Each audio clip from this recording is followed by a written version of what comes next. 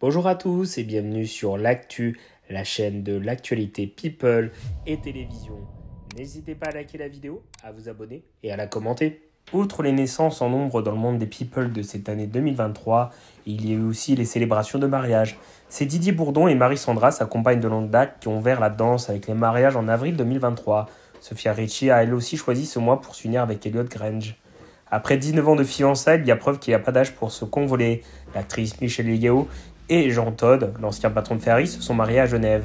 Le mariage du chanteur Hugo Offray et sa compagne de longue date, Muriel, de 45 ans, sa cadette, le 2 décembre 2023 dernier, devrait finir de vous convaincre. Côté cinéma français, l'acteur Alexandre Brasseur a passé la bague au doigt, et la chanteuse Marina Kain aussi le 12 août.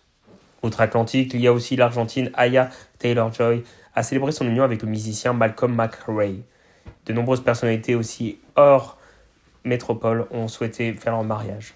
Merci à tous d'avoir aidé la vidéo, n'hésitez pas à la liker, à vous abonner et à la commenter.